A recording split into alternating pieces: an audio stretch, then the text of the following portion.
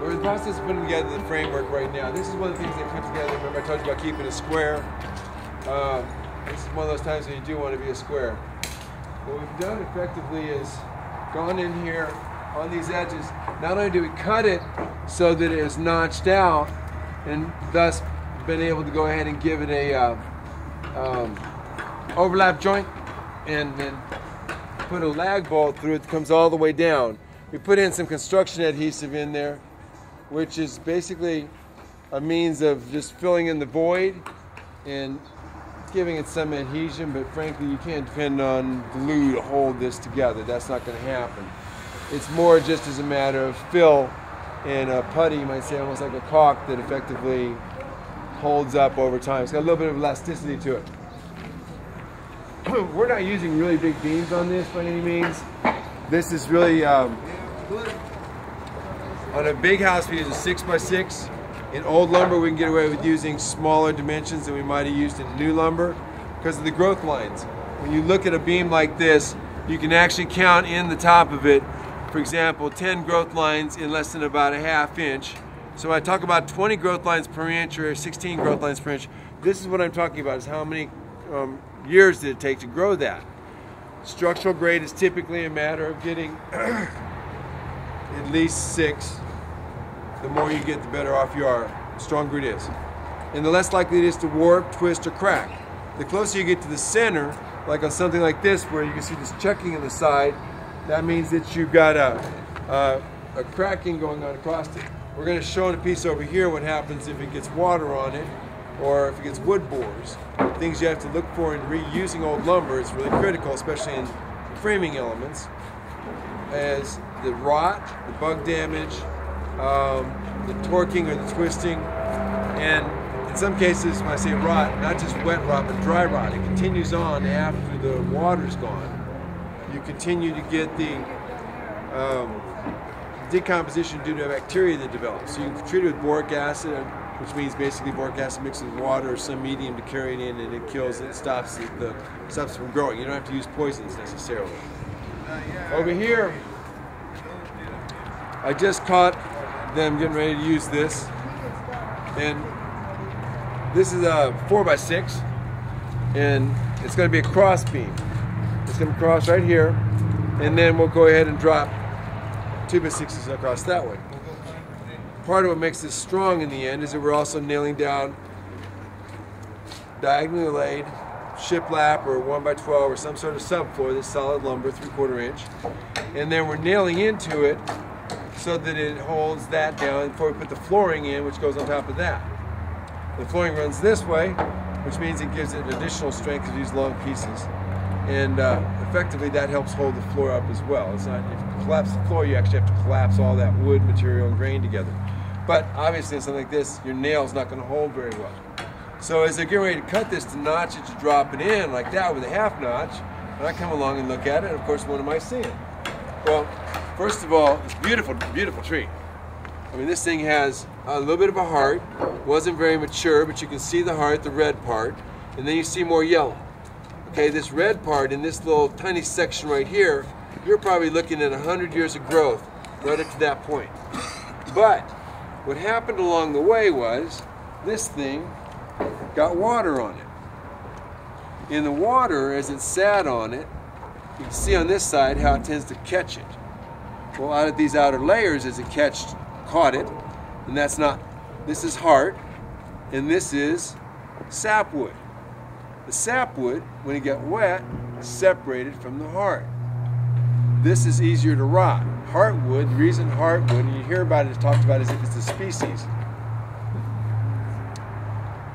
It's a cut of a tree. It could be heartwood in loblolly, it could be heartwood in longleaf. But in longleaf pine, it's a beautiful red. And even in loblolly, but loblolly has to get pretty old. Old species loblolly. Now we never see loblolly old enough to have a heart anymore. It's like cutting down children. Literally, a lob. I mean, the sad part is when they deforested, they took everything. But now the few loblollies that are, I mean, longleaf that are left, there's like 100 acres in Alabama. They're trees that are 100 years old, 110 years old.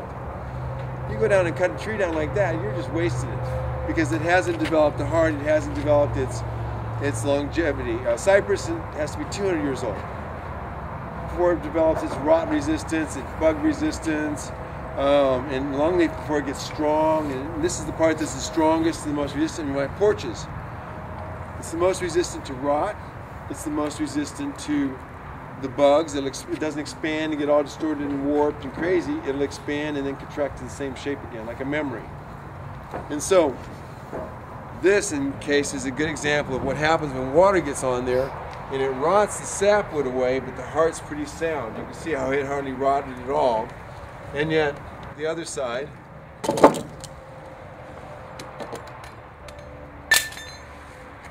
this right here, I can pull away with my thumb. Wow.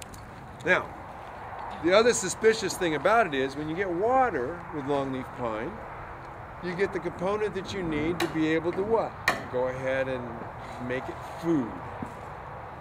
It's so hard normally that most bugs won't eat it. Termites won't even bother with it on your house unless there's water nearby to soften it up enough for their mandibles to be able to grind it down and take it away for food. but here's an example. When you see a couple of these very really little teeny um, indications, those little tiny pinholes, they look like somebody was ran a nail in there, but wait a minute, that's not gonna be a nail there, a nail there, a little nail there, a little. See that hole right there? These little holes right there that you see I'm handing this around. That's your giveaway that there's wood borers. Now wood borers, those cute little creatures that come along, um, manifested, I'm sure, for the purpose of helping dissolve all the stuff that needs to go back to nature again. And they go in there and they lay their egg right underneath the surface and then when their egg hatches, it's got all this great food around it. And as the larva is a little worm or a little grind or meal worm or whatever it might be, it continues to dig that hole right down on in there and eat, eat, eat, eat, eat. Really good, really good. Oh wait, I'm, oh, I'm old enough. Hey, you know what? I got those hormones. I need to go find a mate. So it comes up to the top, where just about the same time, its mates are coming up. And they meet each other, and have a party and go back down underneath and lay babies. And then as they go along, those little babies, you can see this is um, um, a mixture of adult and baby poop. After they eat, they leave behind a trail. Unlike termites, it's not sand. Okay, so when you dig this out and you look at that really close, it looks like it might be rot. Here, have some wood borer poop. Um, the, the problem with it is you only see those fine little pinholes on the surface. But when you look over here, what you actually see is it's almost like dust on the inside.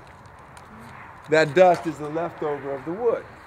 You can go ahead and take a look over here when I'm done and, kind of the piece I passed around. And it's almost like a dust that you can just brush out of there, and that was wood at one time.